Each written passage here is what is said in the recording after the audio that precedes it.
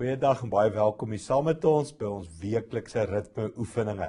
Nou ons is hierdie maand Oktober besig met die woorde iets van 'n nuwe begin, nuwe seisoen. Dink nuut in jou lewe. En dalk moet ek en jy so ietsie doen van nie dink oor genade. Hoe groot is die genade van die Here? Ek wil begin deur vir jou 'n skrifgie te lees en dan gaan ek vir jou die oefening gee. 2 Korintiërs 4 vers 16 sê ons gee nooit moed op nie ook nie wanneer ons rondgestamp en mishandel word nie. Nee dan byt ons eers vas want God is die hele tyd by ons. Hy maak ons elke dag van binne af nuut. So iets van nuut dink oor sy genade. Um, ons sê baie keer ons is blessed genadig wanneer alles regloop.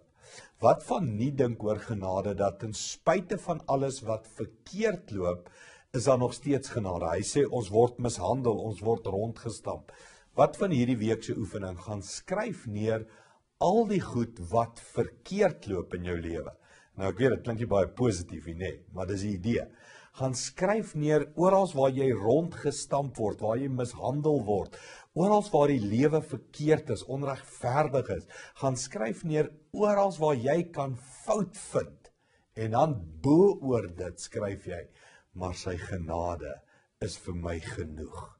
Sy genade dra my. Sy genade versterk my." Jy sien, wanneer ons in 'n kar ry en ons ry op vakansie, dan bid ons mos dat die Here ons beskerm. En dan wanneer daar 'n ongeluk is, dan is ons verward van maar maar ons het al gebid, hoekom het die Here ons nie beskerm nie?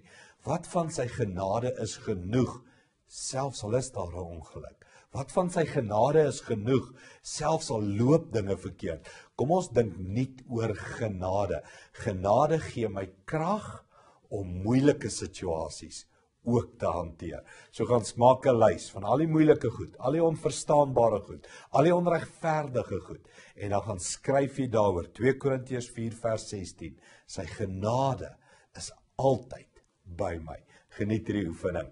Goed gaan. Sien jou weer.